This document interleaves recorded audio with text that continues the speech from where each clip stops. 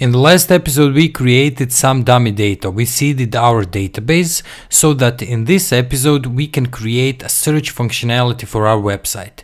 This search functionality is going to search our static pages and also it's going to search our plugin, so specifically our movie plugin and the movies that we entered. So we just have a search box in which we enter uh, some keywords and then we can search our website via those keywords.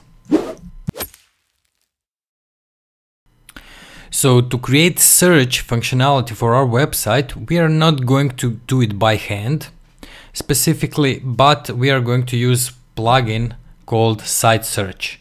Because of course you could do that in October by yourself, but since we already got this great plugin, uh, we can uh, actually search by it so we don't want to code anything ourselves uh, because this plugin already searches your static pages if you want and it has a great API for setting up the search for your plugins. So specifically in our case it's going to be a movie plugin so that we can search our movies.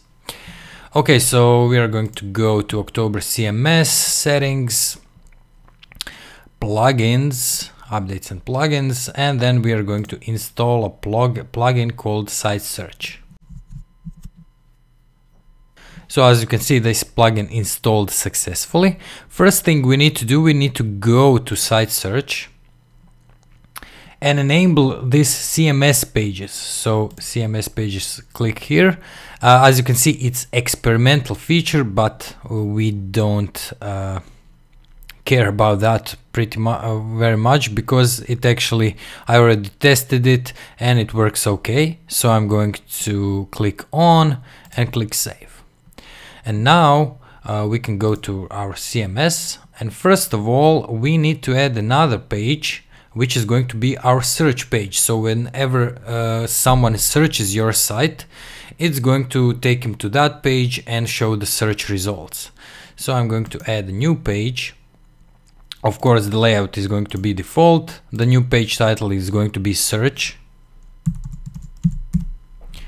Uh, and I think that's about it. Actually, it's not. Uh, we have to go to components and then to go to site search and uh, we just add this site search results right here so that we have component search results.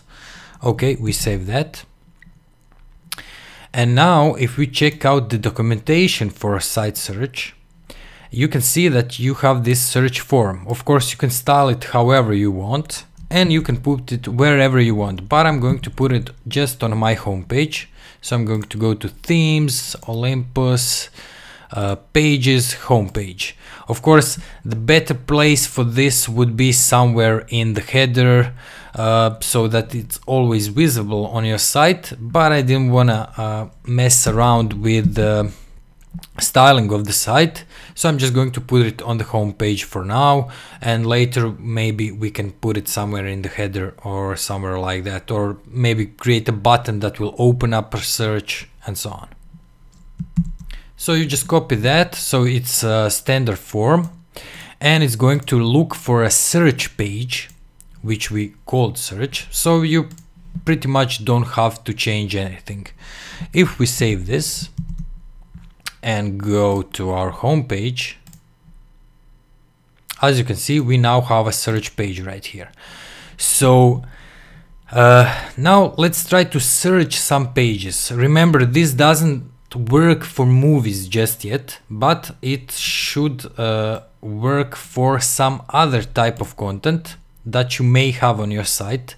If you go to settings right here, you can see that site search already comes with a RainLab blog. So for blog plugin, pages plugin, Indikator News, uh, Octoshop, uh, Jiri, Radiant Web and so on. So these are the plugins for October, which uh, this plugin works for immediately. Uh, but uh, since we still didn't set up our movies plugin to work with uh, search, we're going to try to search a page. But of course, you can't search every page uh, right away, as you can see right here. Uh, before you can do that, you can you have to go to CMS and go to uh, we are going to for this example search only our homepage. so I'm going to go to homepage and uh, go to components. And then you uh, add this component right here include inside search. So you have to add this to every CMS page if you want that page to be searchable so in our case our home page is going to be searchable and I'm just going to include that right here okay so you put it here not down there where I put it okay we save this now and if I go to my home page so this is our home page yeah yay Let's try to search for yay. And as you can see, we get homepage. Uh, you get some not so very good styling out of the box. And as you can see, this is the word yay that we uh, were searching for. So this searches our homepage and also if you have some other pages uh, like, let's see, contact.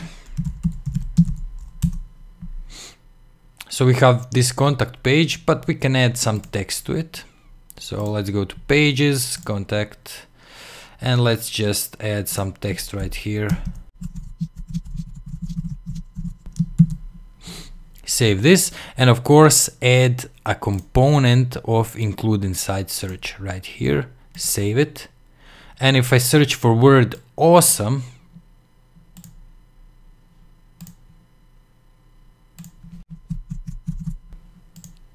click search, now you get the contact page. So this is how this search works for your static pages. As I said before, uh, site search comes with support for some other uh, October plugins, but in most cases you will have your own plugins which you need to search through. So I'm going to show you now how you can search through your movies plugin and find the movies you want. So to create a search for your plugin, your custom plugin, you should just go through this documentation. It's not very long and it's very comprehensible. In fact, I'm going to go right here. And as you can see, you have an example uh, for searching through your custom plugins. In this example, it's called documents. So I'm just going to copy all of this code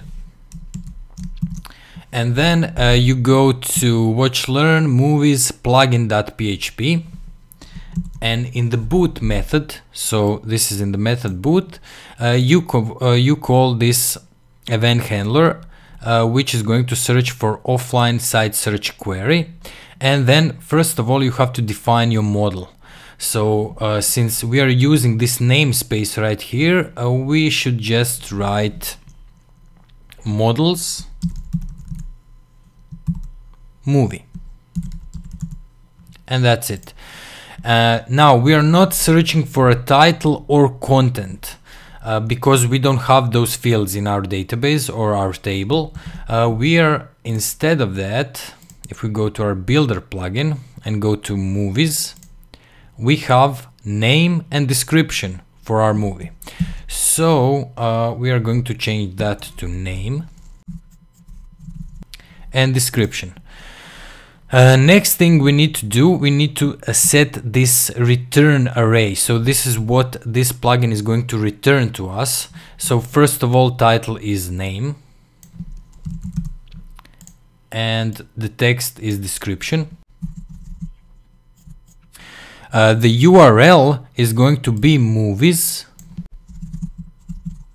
Movies, movie item slug. So this is the slug of our movie. Uh, for now, I'm just going to comment this thumbnail out. And uh, also this provider is actually the badge for the type of content that you're searching for. So in our case, it's going to be movie. Okay, so this is the badge. If we save this, go to our home page, and since we seeded our database with mostly lorem ipsum text, let's try to search for lorem. And as you can see, we have this badge right here that says that this is a movie and it's searching through all of our movies. If we go to a second page, we should see page right here. So we have Lorem also on our homepage. So this is the page for the movie. And as you can see, we get the title of the movie, the description, uh, you get all the text highlighted right here. Uh, you should of course change the CSS of it. Uh, in fact, on this uh, documentation page, it says that you should uh, change uh, the styling of your search uh, page and also you can change the markup of your search page, which is something somewhere right here. So to overwrite the default markup, copy all files from plugins offline site search components to your theme, your theme partial search results, and then you can modify them there. Okay, so now we searched for our movies and as you can see, this works very quickly. But uh, as I said, we commented out this thumbnail right here. So if I remove that comment, and uh, remember our images are not called images but a poster so the poster for the movie so we should change this to poster save it and now if we look for actually search for inception movie let's see what we get so we get that same result but we also get a thumbnail the problem is when you search uh, for a movie that doesn't have a poster, which is most of our movies. So if I write lorem again, we get this error because this plugin expects this thumbnail uh, to be instance of system model file. So to get around that, uh, we are going to create two different uh, return arrays. So the first one is going to return our thumbnail if it exists and if it doesn't exist it's going to return an array without the thumbnail. So to do that you just do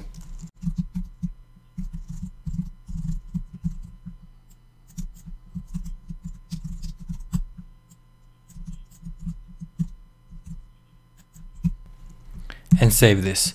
So what I said right here, if the movie has a poster, then return this, else return that same array just without the thumbnail.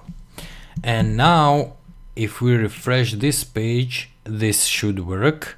As you can see, lorem, lorem, lorem, lorem. But if I go to the second page, you can see that uh, this movie uh, also has a poster, so it shows it and this movie Inception also has a poster and it shows that. And it also has a word lorem in it.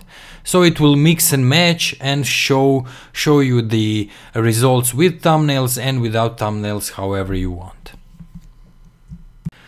As you can see creating search for your website using the site search plugin is pretty easy so this has been it for this episode. Remember everything we did here will be available for you on GitHub. The link will be in the description below. If you want to ask me questions, you can follow me on Facebook or on Twitter. Also, don't forget to leave a like if you like this video and maybe subscribe to my channel if you like the content I put out. Thank you guys for watching and I will see you in the next episode.